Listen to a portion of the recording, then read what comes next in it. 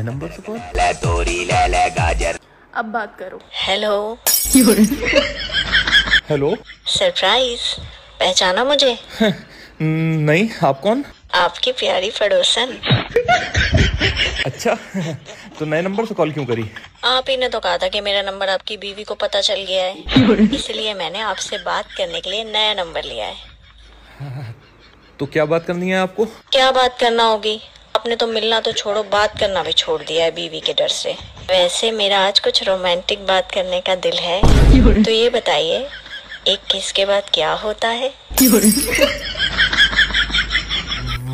बहन जी 21 के बाद 22 होता है और 22 के बाद 23 होता है। इतनी सी बात पूछने के लिए आपने मेरे हस्बैंड को परेशान किया।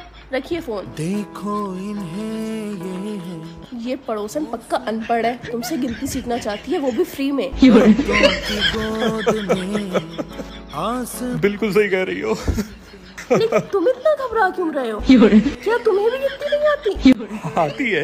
इक्कीस बाईस तेईस चौबीस पच्चीस।